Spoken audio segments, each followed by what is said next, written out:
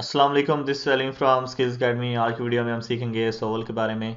तो ये काफ़ी इंटरेस्टिंग टूल है, आप इसके ज़रिए मल्टीपल वेबसाइट की कीवर्ड रिसर्च एक टाइम पे कर सकते हैं।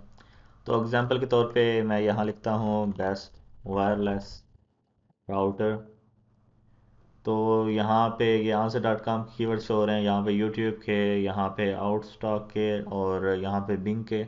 उसके बाद बाय डॉट कॉम के अमेज़ोन डॉट कॉम के याहू के ईबे के। और यहाँ पे गूगल के।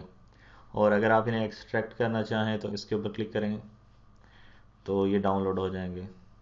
तो उम्मीद है आपको इसकी समझ आ गई होगी। वीडियो देखने के शुक्रिया। अल्लाह हाफिज़।